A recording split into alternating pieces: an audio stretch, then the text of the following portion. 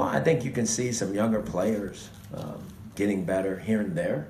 Um, and I and I totally get where the fans are and what what they may feel. You know, um, they deserve better, and and we get that. They they deserve better, and, and I totally respect that.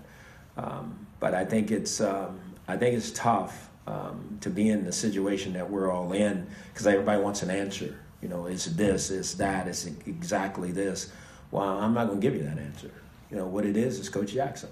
Coach Jackson's got to continue to push and uh, keep getting these players better. There's things we have gotten better at. There's things we haven't gotten better at. That's just that's part of it, and uh, we're just going to keep working at it. Well, what have you gotten better at? I think what we've gotten better, like I said, I see some young players. I see uh, guys shedding blocks and making tackles. I see um, guys uh, at the point of attack doing certain things, gap blocking a little bit better, and we're